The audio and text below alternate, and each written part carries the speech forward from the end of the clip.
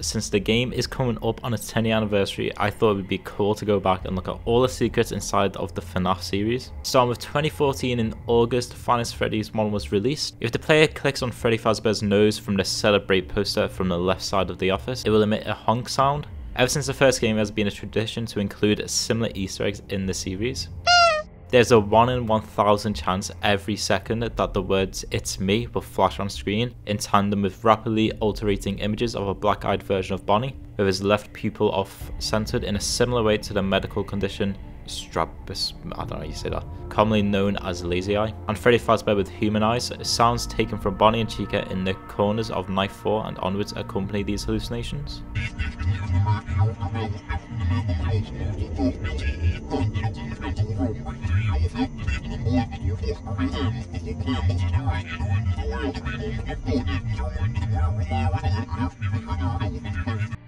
These visions can happen anytime, even if the player is looking at the monitor or when the power runs out. They are also scripted a guaranteed appearance when Golden Freddy appears in the office. There's a 1 in 100 chance when the monitor is brought up that one will find Freddy Fazbear facing the show stage camera with black eyes and a white pinprick pupils. This can only occur if he is alone in the room. There's a 1 in 100 chance when the monitor is brought up that the out of order sign will be replaced with graffiti reading it's me. This can only occur if Foxy has left Pirate's Cove. There's a 1 in 100 chance when the monitor is brought up that the Let's Party poster in the west hall corner will change to an image of Freddy ripping off his own head. On even rarer occasions, there is a 1 in 32,768 chance every second that the aforementioned poster will change to a close-up of Golden Freddy. Should this occur, a child's laugh will be heard and Golden Freddy will appear in the office once the monster is pulled down, preparing to jump scare the player and crash the game. This can only occur once per night. Both of these can occur if Bonnie is not occupying the room, though the easter eggs will pop into existence once he's left the camera.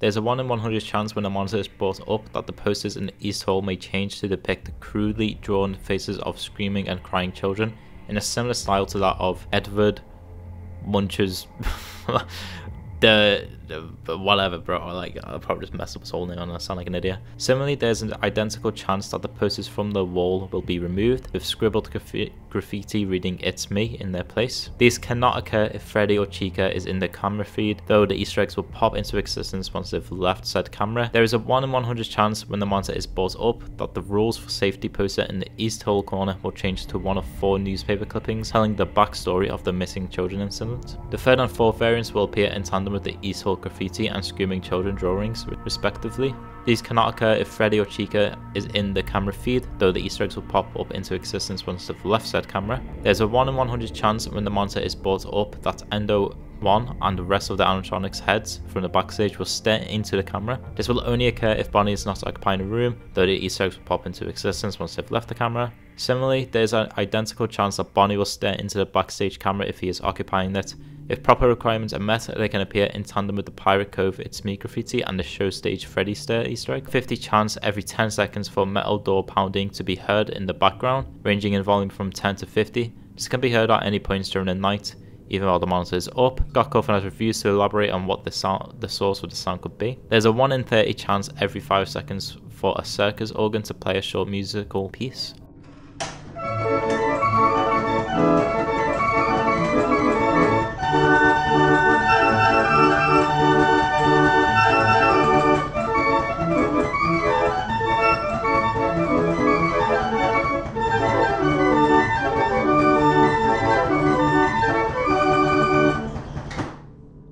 A 1 in 30 chance every 4 seconds for Foxy to sing a short song in Pirate's Cove.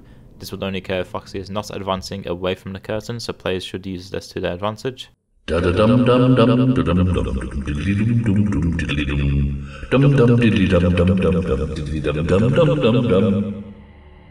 There's a 1 in 10,000 chance after the game over screen ends that Golden Freddy's jump scare will load instead of the title screen. As of version 1.13, setting all the animatronic AI level to 1987 in the custom night menu and pressing ready will load Golden Freddy's jump scare. This Easter egg was added in by Scott Cawthon to halt false rumours about entering the aforementioned code to obtain an alternate ending in reference to the Bite of 87. There's a 1 in 1000 chance when the player returns to the title screen in any way that a still image of Bonnie with empty eye sockets in a similar fashion to an image that can appear in the visual hallucinations will appear. After 9.5 seconds, two small white pupils will appear in Bonnie's eyes for a further 0.5 seconds before the player is ascends to the title screen proper. Surrounding the help wanted newspapers are hidden messages from Scott Cawthon giving taunting advice towards the player. It's on the screen right now, feel free to pause and read it, it's quite a lot of uh, such stupidness. So just feel free to just pause and read it. On November 11th, 2014, Five Nights at Freddy's 2 was released. Identical to the first game, surrounding the help wanted and the robot scrapped newspapers are hidden messages from Scott Cawthon giving taunting advice towards the player. You can also pause and read it on screen right now. Just like the first game, if the player clicks on Toy Freddy's nose from the celebrate poster from the left side of the office, it will emit a honk sound. Every time the camera monitor is put down, a random image value used for several easter eggs is set to a random number out of a thousand. If this is equal to 9, a recolored feminine version of Balloon Boy named JJ will appear hiding under the office desk. The next time the monitor is brought down, she has no effect on gameplay and disappears when the monitor is brought up again. There is a 1 in 16,384 chance when the monitor is put down for a dark silhouette reminiscent of Toy Bonnie named blah blah blah blah blah blah, blah to appear in the office. Staring at it for at least 4 seconds closes the game. To avoid this, the player must shine the flashlight, regardless of whether the hallway animatronic causes the flashlight to be temporarily disabled, it will get rid of blah blah blah blah blah. During so will cause blah blah blah to fade away. If an animatronic causes a blackout, then blah blah blah. Fuck, just stop saying his name. Full opportunity is terminated. Oh fuck's sake. The Freddy Fazbear head, as well as keeping the cameras up without flashing, yep, does not work on him either. Only on night 7, there's a 1 in 100 chance for one of the paper plate dolls that resides in party room 4 called Paper Buddy to activate AI level 1. This results in a standard 1 in 20 chance to move every 5 seconds. Upon succeeding the movement option opportunity, they will leave party room 4 once the monitor is brought up and reappear on the far right wall. It has no effect on gameplay. They are camera stored when the camera for party room 4 is actively viewed. They additionally have a unique formula for getting stunned with the flashlight, but since they can only activate on night 7, it is always 50 frames. Every time the camera monitor is put down, a random image value used for several easter eggs is set to a random number out of 1000. If this is less than or equal to 100,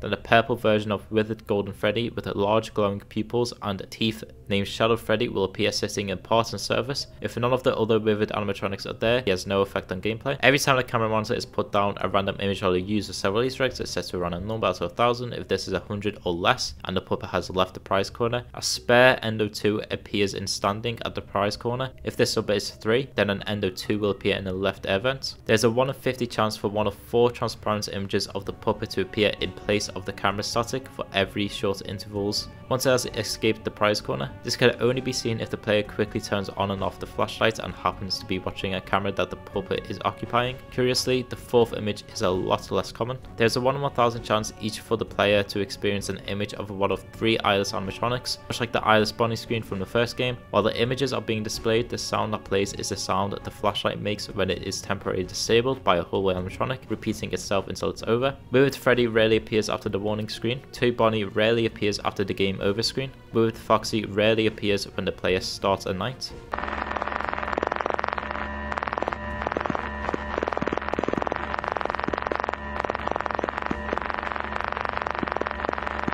There's a 1 in 10 chance after the player is jump scared that they will get to experience a minigame. These reveal bits and pieces of the game's backstory. These minigames include Save Them, Take Cake to the Children, Give Gifts, Give Life, Foxy Go Go Go, the game code was originally set to only play these minigames if the player was killed by the puppet. There's a 1 in 100 chance whenever the player exits to the right doorway of any room in the Save Them Death minigame for William Afton to appear, rapidly advancing towards with Freddy. Upon successfully catching the player, a screen consisting of blue bars with scan lines appears, followed by a single message in the bottom left corner simply reading you can't. This results in the minigame closing itself a second later.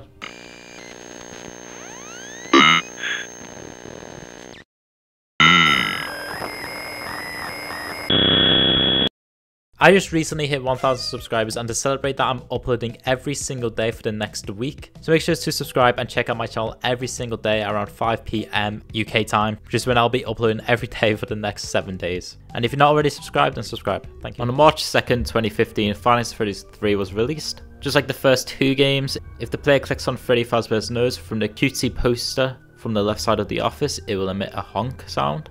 There's a 1 in 10,000 chance when the maintenance panel is used for Mr. Cupcake from the first game to appear on the desk on the right side of the office. It does nothing else and will disappear the next time the maintenance panel is used. There's a 1 in 10,000 chance when the maintenance panel is used for Paper Freddy from the second game to appear on the right side of the office. It does nothing else and will disappear next time the maintenance panel is used. Similarly, there's an identical chance for Paper Bonnie from the second game to appear on the left side of the office when the monitor is used. Just like Paper Freddy, it does nothing else. There's a 1 in 10,000 chance when the monitor is used for Shadow Freddy from the second game to appear on the left side of the office. Curiously, he has no glowing eyes and his teeth are a grimy grey colour. He does nothing else and will disappear for the next time the monitor is used. The Freddy Files refers to this version of Shadow Freddy as Crumpled Freddy Suit. There is a 1 in 100 chance when the monster is brought up for a drawing of Mr. Cupcake to appear in Cam 4 in place of the drawing of Toy Bonnie. It will return to the latter when the monster is put down. On even rarer occasions, there is a 1 in 10,000 chance when the monster is brought up for the aforementioned Toy Bonnie drawing to be replaced with a variation of the Mr. Cupcake drawing with gold coloured frosting instead. Like the regular variant, it will turn back into the Toy Bonnie drawing when the monster is put down. Both of these can only occur if Springtrap is not occupying this room. There's a 1 in 10,000 chance when a monitor is brought up for the Cutesy Freddy Fazbear posters in Cam 2 and Cam 10 to be replaced with posters of Spring Bonnie in the same art style. These can only appear if Springtrap is not occupying the rooms they are contained in and will disappear when the monitor is put down. There's a 1 in 1000 chance each for the player to experience one of the three images of Springtrap. Much like the eyeless screens from the first and second game, upon closer inspection, William Afton's decaying body can be seen inside of the suit. The third screen reveals most of the corpse's head within. The sound that plays during this is a soundbite of William killing the player in the end of night minigames. The first variant rarely appears after the warning screen. The second variant rarely appears after the game over screen. The third variant rarely appears when the player starts a night.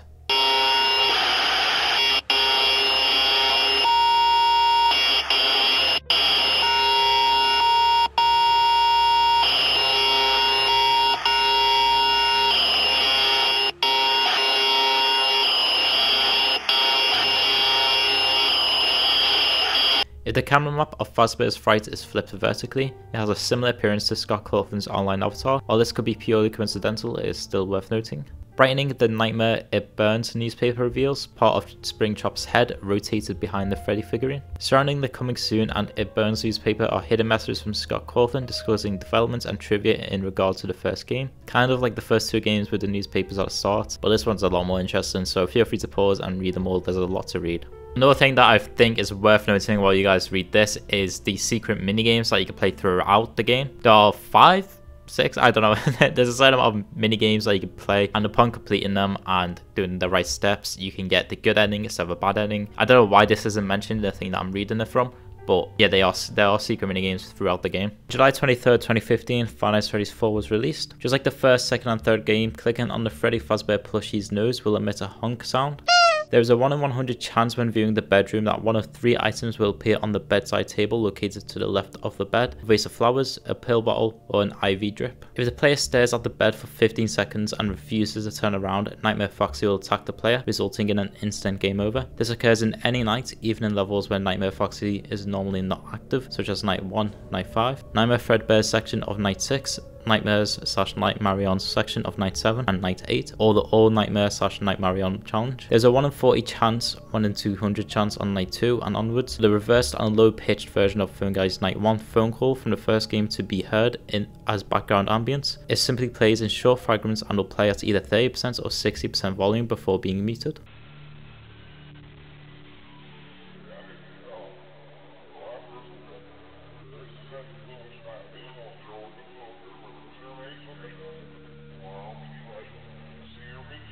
At some points during the night segments, there is a 1 in 30 chance for one of three sounds to be heard in the background. These include demonic laughter, similar but not identical to Nightmare Fredbear slash Nightmare, a demonic breath, and a dog barking.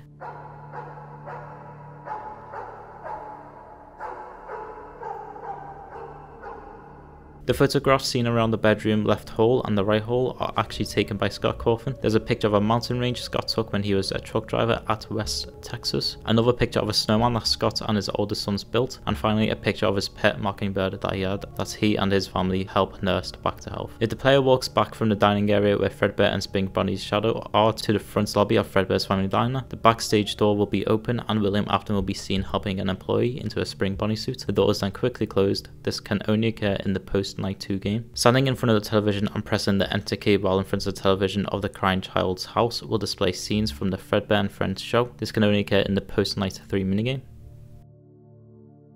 On October 7th, 2016, Five Nights at Freddy's sister location was released. There are only two hidden animatronics, both will later appear in the custom night mode that can be identified. Lolbit has a small chance to replace Ennard's mask in the primary control module. Yendo appears occasionally in the Funtime Auditorium to replace Funtime Foxy. In the primary control module, Minireena has a smaller chance to appear at the left side of the room. Occasionally during the Immortal and the Restless segments, Minireena may appear at the far left within the living room. Furthermore, there's a rare chance to see Minireena popping up from the bowl of popcorn. Bidybab can occasionally appear behind the window from the elevator and circus control. At home while watching The Immortal and the Restless, Bidybab can rarely appear from the darkness at the right side. When entering an area or booting the game, a blueprint of one of the four main animatronics will randomly appear on the screen for a minute or two. In the Ballora Gallery location, if the player holds 0 and 1 key for 1 minute and 23 seconds, the blue screen will display. Pressing 1 will trigger strings of random encounters.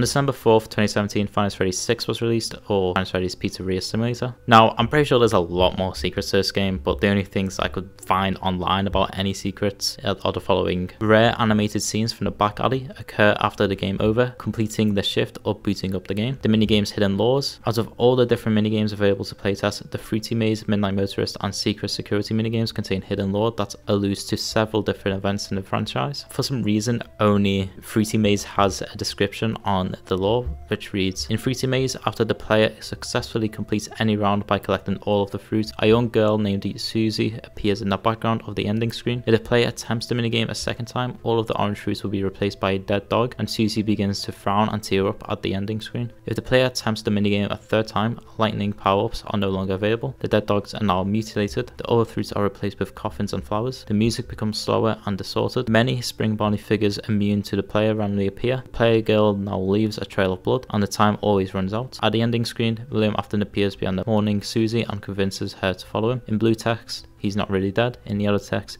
he is over here.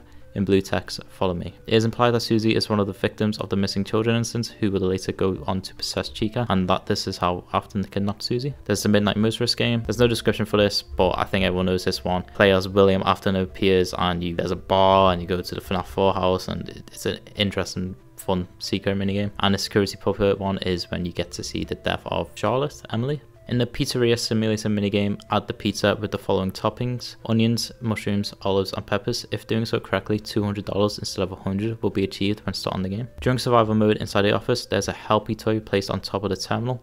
Click on the toy's nose to emit a honk sound. A drawing of Doofus from Scott's earliest game, Doofus the Dinosaur, can be found in the office, as seen when turning to the left. When successfully scaring the children, the Fruit Punch Clown has a small chance to utter a rare quote. Tell anyone about this and I cut your throat. And that's all I could find about Pizzeria Simulator. If there's any more secrets, then let us know in the comments below. I'll definitely be interested to know more secrets about the game. On June 27th, 2018, Ultimate Custom Night was released. Once again, I feel like there's a lot more secrets to this game than this website is stating. This rare screen takes the form of a mysterious image of a partially obscured face appearing to be that of a grinning child. It is referred in game as the one you should not have killed, mentioned by Nightmare Freddy, with a Chica, Mangle, and Jack Chica. This hallucination can occasionally appear after the game over screen. When pulling up the camera monitor or outside of one of the doors or vents within the office, it bears a striking similarity to some of the rare death images from previous games, though it is unique in that it can also be seen occasionally through in-game mechanics such as the monitor and doors. It is commonly theorized that this is one of the missing children, specifically Cassidy. Three animated figurines of enemies from FNAF World will sometimes appear on the desk in the office. These characters include Tangle,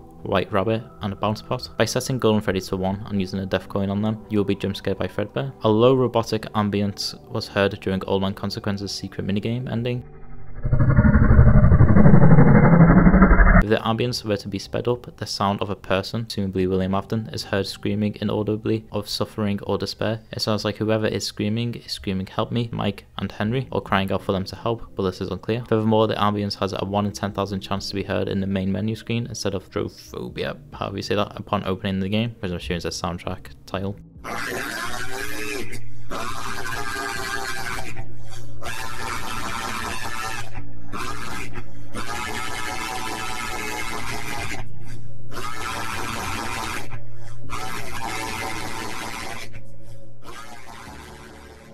And that was all I found about Ultimate Custom Night as well. when I'm sure there's more secrets in the game. So I'm not gonna talk about at Freddy's Help Wanted, FNAF Help Wanted 2, the AR game, the every other game past this. The main reason being because these games contain so so many secrets. There's collectibles, there's secret tapes, there's there's just a loads of hidden stuff, and these games are not made by Scott Cawthon himself. I'm only including the main seven games made by Scott Cawthon because I think they're the most interesting. But if you would like to see a video on Security Breach or and FNAF Help Wanted and all those games, then you can let me know. I know the thumbnail includes Help Wanted 2, which I'll mention in my guess the thing that's in the thumbnail is the secret plushies that can be found in Help Wanted 2. But yeah, if you would like to see me make a video on this, but yeah, that's gonna be the end of the video. If you guys enjoyed them, please leave a like and subscribe and let me know what Five Nights at Freddy's history video like next or what Five Nights at Freddy's video you just like in general.